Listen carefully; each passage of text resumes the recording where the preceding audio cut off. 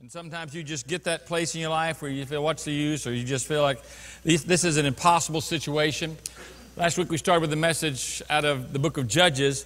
We talked about a brief little introduction to a man by the name of Shamgar and who he was and how God used him right where he was with what he had in his hands to make a difference when it looked like everything was over. In fact, the Philistines had surrounded the nation. Sheer doom and despair was taking place, and it looked like no hope until God got on the scene, raised up somebody who comprehended the moment and comprehended the times that they lived in. That being Shamgar. Today we're going to look at another story about David. Now, this is a passage, in fact, I, think I've preached from this particular passage a couple of times at our church. And we'll give some introductory stuff to it, but I want to come at it from a little different angle. You know, when Shamgar's situation, as he's uh, looking at his situation, Philistines have surrounded the nation. The, the nation of Israel has no weapons. They, they have no defense. They've surrendered all their, all their military might up in hopes of peace, which was a false peace. And Shamgar was used by God to deliver the nation of Israel against all odds. Now we have a picture of a guy, David specifically, who's at a, a very unique point in his life of discouragement, of despair, of defeat, it looks like there's no hope for him. He knows that he's been anointed to be the king over all of Israel, but he's not. In fact, he's not even living in the land. He has since fled, run for his life because he thought everything is over. What's the use? I'm not going to make it. In fact, Shamgar stands as a picture of a man who ultimately rallies the nation to support what's going on. But David can't even rally his friends here. Excuse me. In fact, David has several hundred of his men with him who are now so depressed, defeated, disheartened by the situation they're in, they're ready to even kill him. So it's against all odds when not even your friends are going to stick up for you and stay with you and protect you and help you and defend you. It's a bad situation. If certainly there was an against all odds scenario, this is certainly one of those in scriptures, uh, as this man stands all alone. It's a tragic time in the life of David, but at the very same time, it was the best of times, it's the worst of times. It was a good time. This is that point in David's life. I'll give you a little bit of history before we read from 1 Samuel 27. But at that time in David's life, when remember he lives in the palace, his best friend is Jonathan, King Saul's son. He's killed Goliath. The women in the streets are applauding him. David has killed his thou- tens of thousands, and Saul has killed his thousands. Saul takes that in a completely bad note. He begins to seek to kill David. Jonathan warns him. David runs for the country with his faithful troop of men and begins to hide out. From this point on, King Saul is pursuing David. Understand the storyline is pretty simple. David loves Saul. David wants to have a fellowship and a relationship with the king. David is the next in line to be the king. But Saul's very jealous. He hates David. He's pursuing David. He's sure David wants to kill him. He's out to kill David, and anything he can do to make David's life worse, that's on his agenda. Now, we said it's a tragic story because, as well as a wonderful story, because on one hand, David is, you know, is, is getting ready to make a terrible decision with his life, which is going to cost him a lot. But at the same time, it, he shows his character and he shows his integrity. It's at, it's this very point where David is, is uh, hiding from Saul in the land of Israel, and Saul has discovered his last hiding place, and he's out to kill him. So while he sleeps in the night, the king and his men, David and his band of soldiers watch out on the cliffs below where King Saul is bedding down for the night. During the night, David had the opportunity to kill the king. But that's that passage in Scripture when David said, I will not touch God's anointed. And he doesn't kill the king against some of the instruction of or uh, the persuasion of his own men and spares his life. And, but at this point, showing this high point in David's integrity. It's this point where this passage is written in 1 Psalm, 1 Samuel, where it says, And David now said in his heart, I'll now perish one day by the hand of Saul.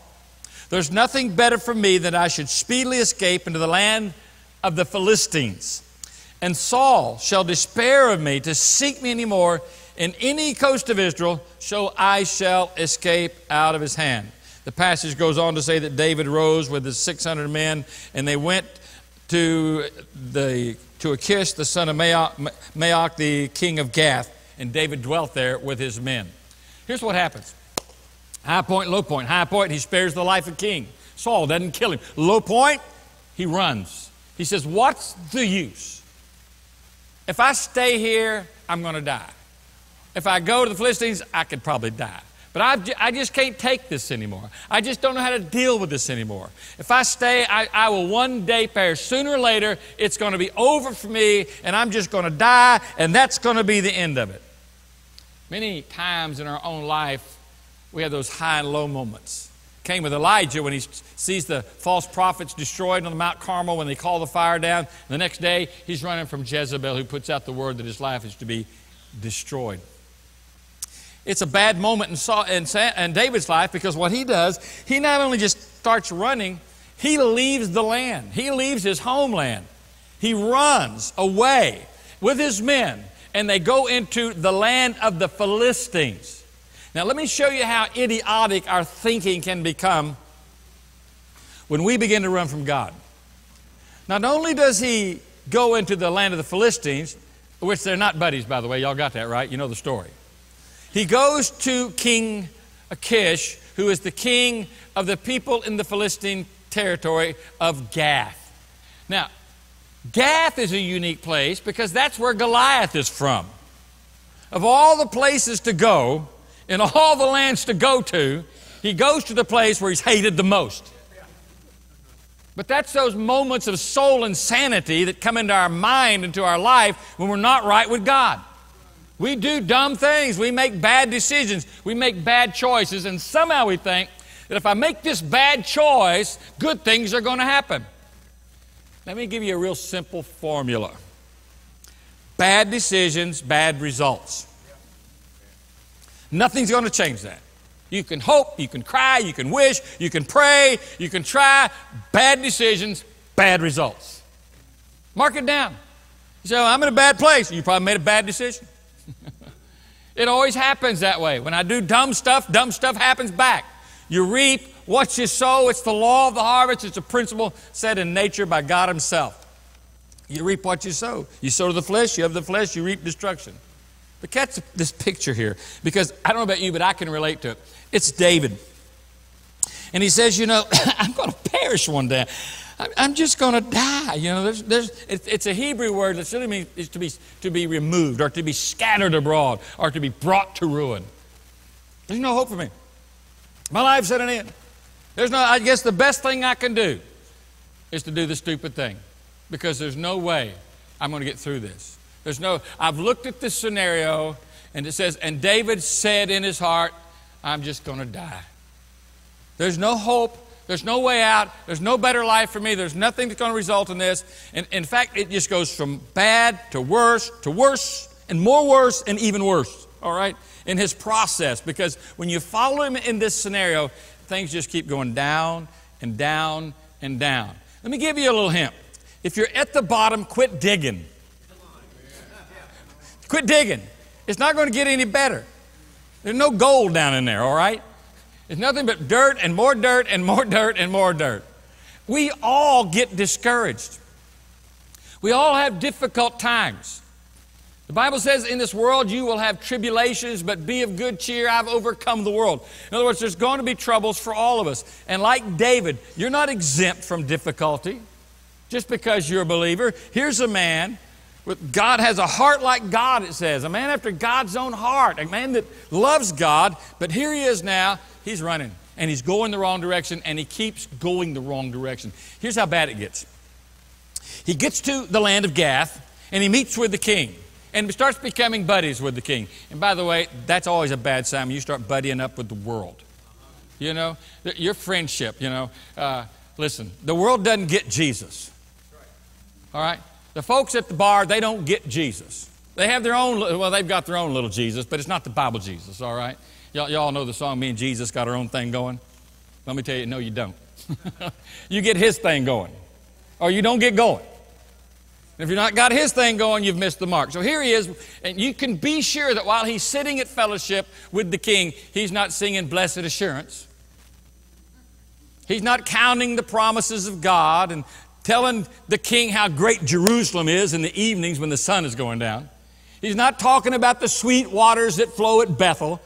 You can be sure, because that doesn't happen, does it? When we start running from the Lord and we start becoming friends with the world and reject our fellowship with our Heavenly Father. We're going to love one or the other. Jesus said, if you love the world, that's enmity with God. You don't love God. You have to make your mind up. So here he is, and he's in this desperate situation in his life, and it keeps getting worse, and he keeps making more bad decisions. The king of Gath, Mr. Kish, says, Hey, David, I'm going to go fight Saul. I'm going into your homeland, into your territory, and I'm going to go confront Saul and the children of Israel. And I'm not only going, I'm taking all the other kings of the Philistines with me. Every tribe of the Philistines, and we're going to invade the land and we're going to take them down. David, this shows you how far we can get from God. I'm going with you. I'm going with you. I'm going to go fight. The one who said, I said I wouldn't touch God's anointed, I'm going to. I'm not going to touch him, I'm going to touch him real hard. and not only that, I'm going to go fight with you. I'm going to fight against my brothers and my sisters and my kinsmen, and I'm going to fight against my own nation. That's how bad it gets. Don't think you can't get there. Because what happens, the more we start resisting God's will and rejecting God's will, the worse and worse we get, and our thinking gets perverted. It gets warped. And we start running from the very thing that God has for us. We start running towards hell like it was heaven and making worse decisions and worse decisions. It, gets, it doesn't get any better. And this is where David is. I, I, I, what's the use? And so he just starts following along. It, it doesn't get any better. Let me go on with the story, okay?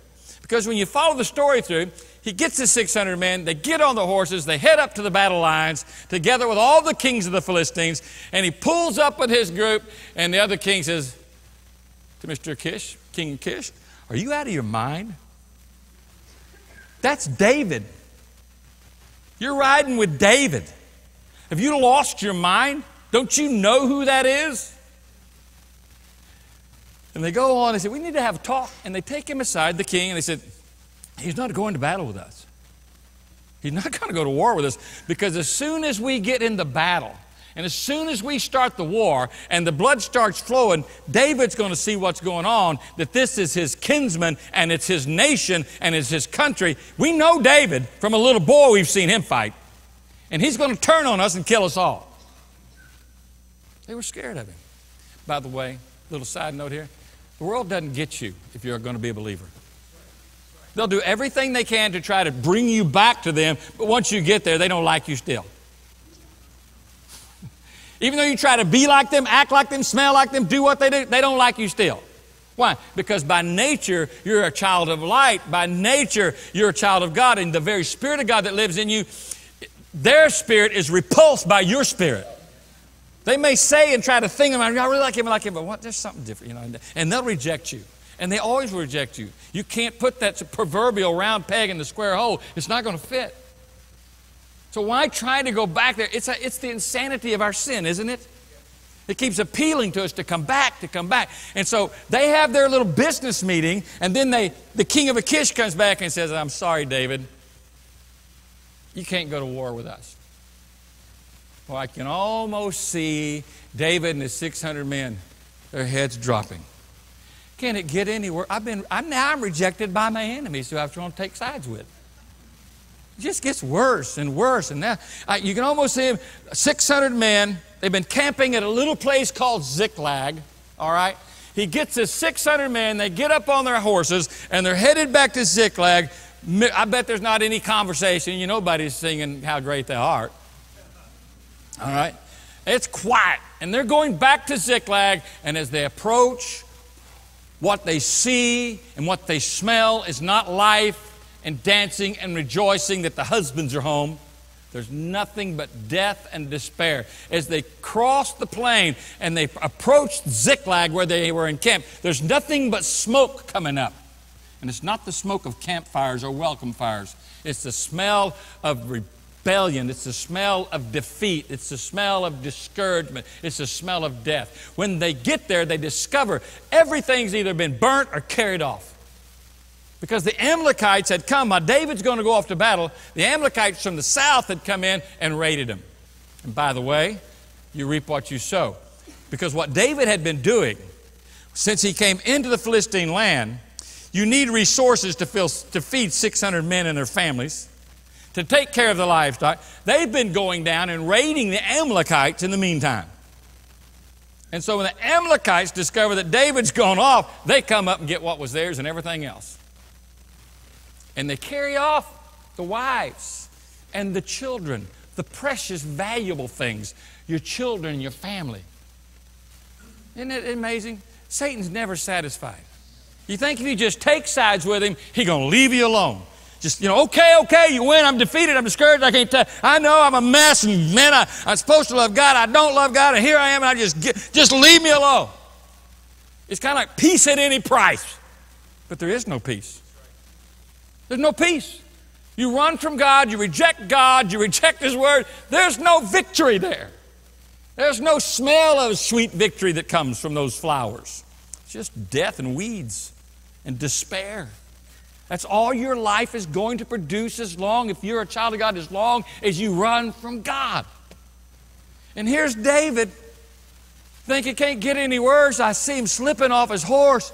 And he looks back, and all those 600 men who were the most loyal men Scripture ever mentions. You want to do a great study in the Word of God? Go back and read about David's mighty men. These guys risked everything for him. He just wanted to, he was talking one night around the campfire about how sweet the water from Bethel would be. They risked life and limb to go get him a drink of water. I mean, these were guys, they, they fought. They were spectacular warriors. They were men's men. And now they've lost everything because of following David's bad decisions. And it says, and David's men spoke in this passage of stoning him. Rejection at the ultimate level the best of your best friends. Well, you follow the story through, you see that there's heartbreak and there's heartache and there's discouragement over these results of terrible decisions. Man, I know that when I've made bad decisions, it always brings these kind of things in our life. And you know as well as I, Satan never lets up. He's not sat just because you backslid, he's not happy with that. He wants you miserable. It's like one friend of mine told me, he says, when I lost everything, including my family, and my face is down in the dirt, he said, Satan is there just kicking more dirt in my face. That's the way it works. Don't ever think that that peace at any price is good. It's not. Because there is no peace without Jesus. The Bible says, from the words of his own lips, my peace I give to you, not as the world gives peace. He talks about a peace that passes all understanding, a peace from God and a peace with God.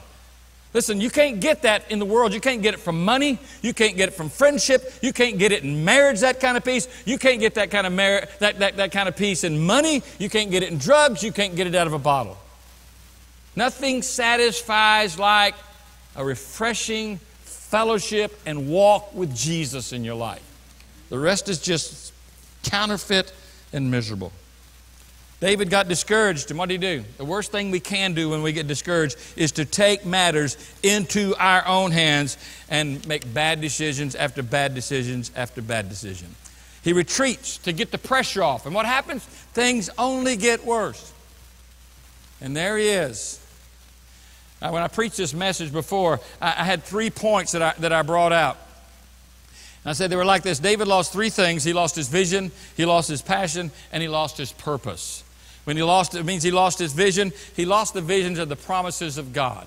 All those Psalms and all those passages in Scripture where David is just talking about the grace of God and how God's his strength and how God is his tower and God's his refuge and his fortress and his stronghold, how he's his protection and how he's always near. And he's like the shepherd God is who leads him beside still waters, who meets his needs, even in the presence of his enemies. He brings grace and sustenance and sufficiency. David now said in his heart, I'm just going to die. He doesn't see that anymore, does he? But not only lose his vision, he lost his passion. Passion is that, that hunger of heart. We talked about zeal when I preached this message the first time. It, it, there's a zeal that, that comes into the life of a believer when we really get our hearts right with God that just drives us. We want to, we want to love Jesus. We want to be obedient. It's, it's that hunger for God. And it's, it's manifest in a, in a life of commitment to God.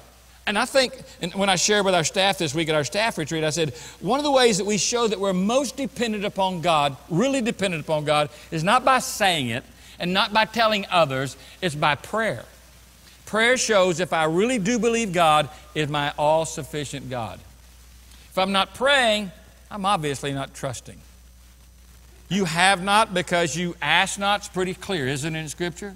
So Jesus said, Without me, you can do nothing. Same time, he said, Ask of me, and I will, I will give to you. If you, need, if you need the Spirit, if you need grace, just ask me. The Father's not going to give a son a stone if he asks him for a piece of bread. He said, Your Father's a good Father. What do you need? The sufficiency of life, the joy of life, the strength for living. It all comes from God. But when you lose that prayer commitment and you lose the, that dependency upon the Father, that certainly bursts that last part. You lose purpose in life. I gave a simple definition in that message that purpose is just the outward liberation of passion and vision. If we have vision, if we have passion, then there's going to be purpose to our life. When we lose that sense of purpose, it's usually because we quit looking and having eyes to see. It's usually because we've lost that, that hunger that drives us to God to depend upon God. But there's another element to this message that, that I, I just don't want you to miss because we can talk about what we lost and how we lose our divine purpose and we lose our passion and vision. But what I want to talk to you about today goes beyond that. It talks about restoration and recovery to restore. And if you look at David's life, you can follow those steps of action that he took in the wrong direction. He gets discouraged. He takes things into his own hand. He moves and makes a bad decision and goes to the wrong place and to the wrong people. Those people don't receive him because he's a man of God. They reject him. Even though he's a backslidden man of God, he's still in his heart a man of God. The gifts and the callings of God are without repentance. If you're saved, you're saved. All right? and you try to be a saved person in darkness, you're just going to be more miserable. You're going to be more miserable than you've ever been in your life. Mark it down. And so I think the important part of this story today is to catch what David does in coming back to a place where God speaks to his heart again and he gets vision and he comes back to that place of passion and he comes back to that place of purpose in his life. Because I want you to know every one of us has the potential to drift and to wander. And what Satan will do, especially if you're a new believer, he loves to pull this one big guns as fast as he can on you, all right? He comes in with the big guns and says, Oh, I see what you've done, but you didn't mean business, so that's not it. And he tries to introduce everything, every doubt, every imagination into your heart to get you to stray. Because if he can't keep you from being saved, he'll do everything he can to keep you from having an effective life and a purposeful life and a significant life. He wants you to live like a little old lump of coal in the corner with no purpose and no meaning, just passing by. I'm sitting here on the world. As the world goes by, Earth rotating on its axis while I'm sitting on mine behind. and that's it. Miserable. Getting by one day at a time. When Jesus said, I have come that you might have life and you might have that life more abundantly, that's more than a Sunday school memory verse. That's the fullness of your life he's talking about. Having significant purposeful life that means something. Most people don't know that. Life means something because most people don't know Christ. But here's what he does. Catch this. First thing he does, most important thing, he prays. He said, And David's men spoke of stoning him, and David prayed. Listen, when people start talking about killing you, prayer is a good thing. Might be time to pray. Might be time to spend some time with God. But this is, this is where the church, if they're deficient in anything in the church, in America at least today, it's within this area of spending time with God. We're too busy. We got too much to do. We got too much to accomplish. I got too many, and even for God, we got too much to do for God, but we don't pray. We forget that Jesus said, Without me, you can do nothing. And therefore, to prove, you know, that He's true, we go off and we try to do something, but it's always nothing. We can't do anything until we've prayed. We can't accomplish anything until we've prayed. We're not going to succeed until we've prayed. We're not going to win others until we've prayed. We're not going to have revival until we've prayed. We're not going to be the kind of man or the kind of woman God called you to be until you prayed. Because it's in prayer that I get a hold of the heart of God. It's in prayer that I come to God. It's in prayer that God and I are being what He called and saved me to be one. I'm speaking, I'm hearing, I'm listening. I told our staff at our retreat, I said, but uh, you know, as a pastor, I realize that there's very few people who really know how to pray anymore. I just don't know how to pray. Here's our prayer Lord, we love you today, and we thank you that we can be here in your church today and ask you to bless us and bless me and bless the service and bless the pastor and, and keep the devil away. In Jesus' name, amen. That's not warfare, that's not supplication, and that ain't intercession. Doesn't meet any of the qualifications of real prayer. That's just a selfish little person wanting to get something as quick and as easy and as fast as they can from God without having to commit any time or sacrifice any of themselves. I thought you said amen. It was a little weak. so we pray. You don't think David's over there saying, Oh God, these guys are mad. You better do something quick. I need a blessing. Bless me. He's over there, and I believe in this process of praying, he's pouring out his heart to God. God, I've messed up. God, I made a stupid decisions. And not only, I made, I led these guys who trusted me, who are my friends. And now I've not only lost everything, they've lost everything. I think that prayer is that prayer of repentance and it's that prayer of supplication, you know, or, or, of brokenness. You know, Jesus said, Come unto me, all that are weary, all you that are heavy laden, I'll give you rest. I believe that's where David's coming to find that shepherd's rest again. He leads me like a, like a sheep. He leads me beside still waters and besides the green pastures. He's, God, I'm, I'm just, I made some really sheepish, stupid decisions. Y'all do know sheep aren't the smartest animal in the forest, right? By the way, let me say this about prayer it's not worrying on your knees. Some people just get down and they just worry on their knees. This is finding the Word of God and finding what God says in His Word about your life and about His will. If we pray anything, we talk, we pray according to the will of God. In October, we're starting a whole new series, and it'll be built around our lift groups as well. So get in lift group during this period of time. You really want to know what prayer is all about? We're going to spend about 10 weeks talking about prayer and what it really means. We've followed up with studies within our lift group prayer, and there's another aspect of this, and I called, I just called it prepare, is what I put down here. And I, I believe that means to, uh, just repenting, cleaning up your heart. You know, one of Satan's favorite methods in the midst of your discouragement is condemnation. It goes something like this: You just did something really bad. You made you sinned. You chose against God. You knew what you're supposed to do. You didn't do it, or you didn't do what you're supposed to. You just know, right? You're there. You're in a mess, and Satan comes and says,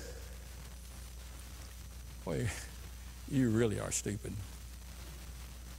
That's about the dumbest thing I've ever seen anybody do. You talk about really stupid. Uh, are you really a Christian? Because if you were really a Christian, you wouldn't have done that. I mean, Christians don't do that. I mean, I, I, I, I don't think you're a Christian. You think you're a Christian? I don't think you think you're a Christian either, do you? I mean, what's the use? I mean, you, you blew this so bad, don't even go, I wouldn't even go back and look people in the face. I'd just go somewhere else, go away, go hide somewhere because you're not worth it and you're a miserable wreck and you're never going to amount to anything, so just you know, ain't getting no getting over it, so just go run go kill yourself. That's the way he works. That's his MO. That's his, that's his favorite, favorite thing is, is lies and, and, and desperation lies. And, it, and what people do is they, they just can, they, they believe it. The Bible calls Satan the accuser of the brethren. And so he makes the accusation. And one thing about condemnation, it keeps us if we don't learn how to resolve it and deal with it in prayer and, and, and in faith and repentance before the Lord, then it keeps us in bondage and it keeps us in captivity. It, it creates within us this, this, this, this little atmosphere that we don't make good decisions in. It's like David. After he sinned with Bathsheba, he never correctly dealt with his son Absalom after that because of his guilt, I believe. He was guilty over it. And because his guilt kept driving him to make stupid decisions in regard to his own son. He just kept paying the price. That's what condemnation does for us.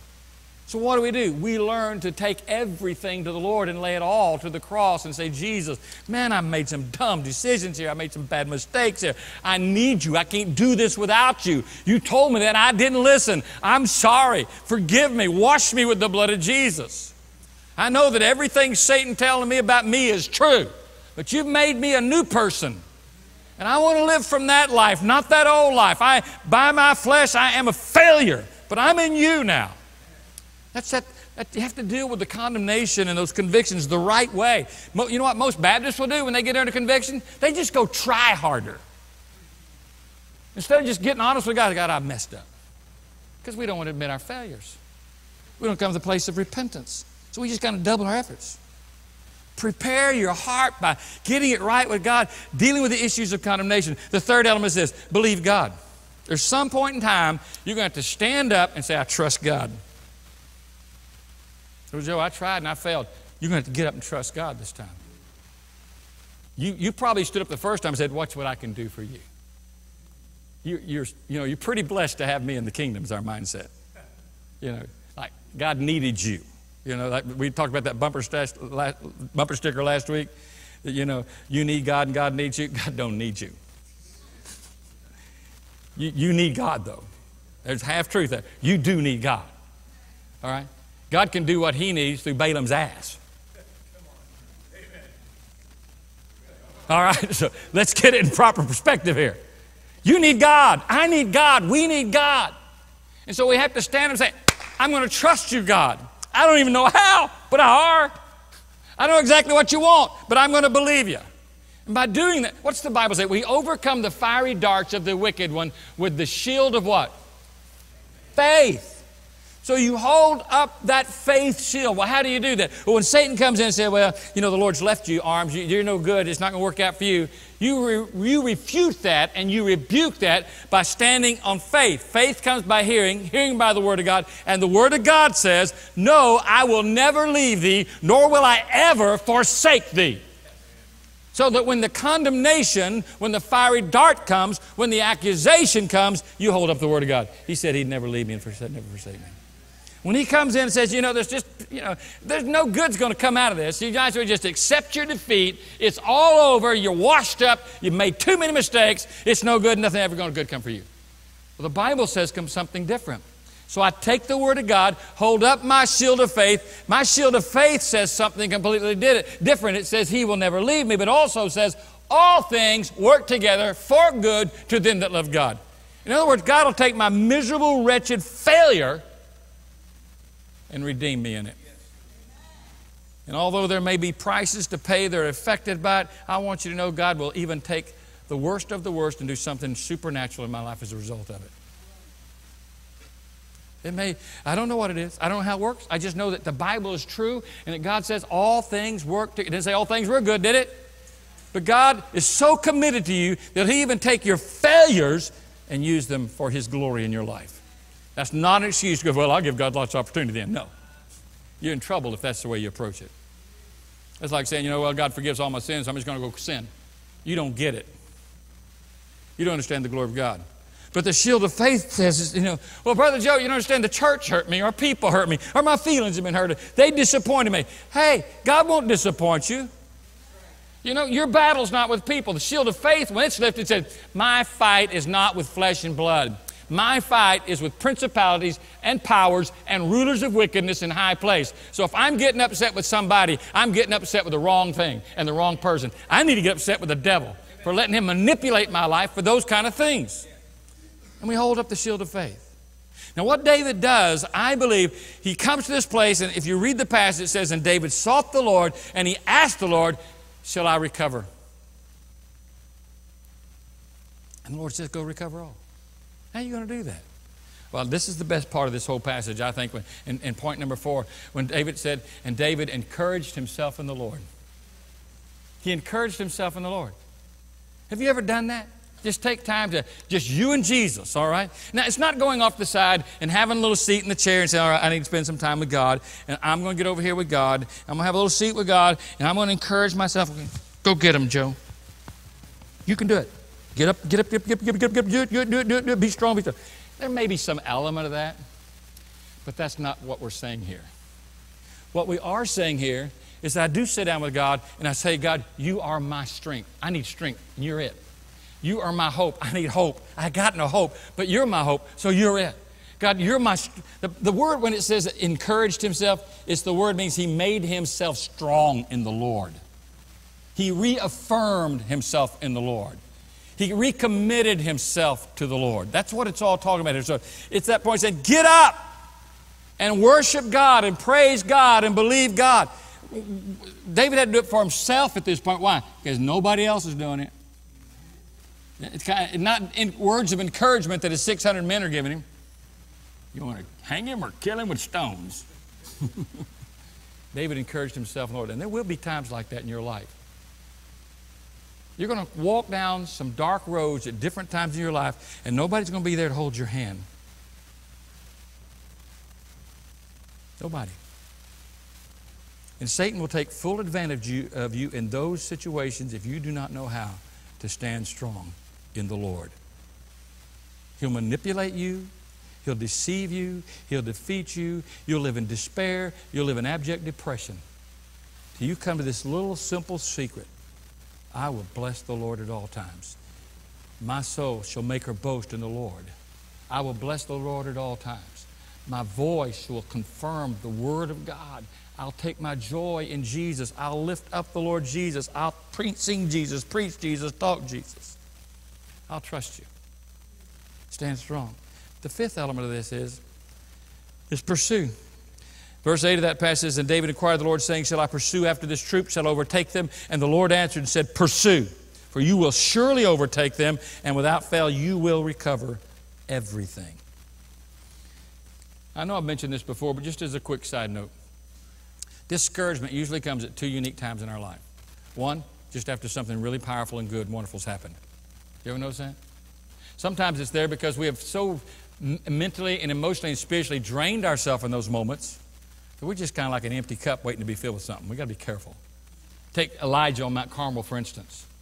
The fire falls. He kills all those false prophets. He runs, outruns King Ahab back to the city in the rain. Different is, Ahab ain't running. He's riding in chariots drawn by horses. Elijah blows right by him. He's excited. Revivals come. Things are happening. Good times are here. Praise the Lord. Then, boom, slasher knocked right out from under him. Jezebel puts out a word. You're going to be dead by this time tomorrow. And he runs. But also, sometimes we need to realize that just after something and just before something. You know, it's both ways. With Elijah's afterwards, sometimes, well, what's the old saying? It's biblical. It's always darkest before the, before the dawn. The dawn awaits us. And some of you may be in the dark of night right now in your life, but you cannot lose hope. You cannot enter into the realm and to that, that shadows of despair and depression and discouragement and defeat. You have got to get up and pursue the things that God has called you to pursue. You've got to get up and be faithful. You've got to get up and continue to love God. You've got to continue to hold on to Him. Everything, everything that you'll receive from the Lord Jesus Christ in your life is going to be as a result of you trusting Him and your faith. That's why the Bible says, whatsoever is not of faith is sin. We have to walk by faith. We have to move by faith. We live our lives by faith. David moved forward. And the Bible says, and David, what does it in, in verse 30? And David recovered all that the Amalekites had carried away. And David rescued his two wives. There was nothing lacking in them, neither small nor great, neither sons nor daughters, nor spoil, nor anything that they had taken them. David recovered all. God said, pursue, recover all. Several times in the next verses that David recovered all, and David recovered all, and David recovered all. You get the note? You get the message? All right? What did David do? He got it all back. God is the God of restoration. I love that passage what God will restore what the locust has eaten. He'll recover, He'll restore. But you have to trust Him. It's not going to happen while you're sitting on the back row of your spiritual life, just kind of putting along and blaming everybody in the world for the difficulty that you're facing in your spiritual life, discouraged and defeated. Get out of that mode. Shake that off. Get on your face before God and pray and seek His face. Be sure that you pursue. Don't get caught standing around and see what God has for you. Folks, we serve a mighty God. You read Romans 8 when you get home. You don't believe God's mighty, just take time to read. Sit down and read Romans chapter 8. In fact, what David thought was the worst thing that could happen in his life, and certainly was up to that point, ultimately becomes the very greatest thing And not too much after this in Scripture do you see David being catapulted to the throne of the King of Israel. Hallelujah. That's the grace of God.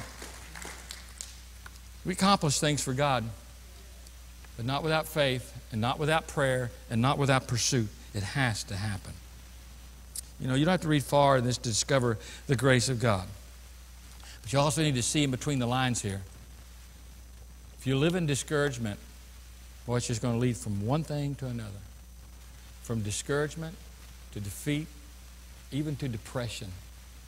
We're living in a culture that seems to be just captured by that. And they're doing everything they can, but it's all the wrong things. They think it's going to be found in party life. They think it's going to be found in relationships. They think it's going to be found in jobs and careers and security. Listen, life comes from God. And if you reject God, you might as well just hang it up. You've rejected life. You can't live like God never intended for any man or any woman to live their life apart from Him.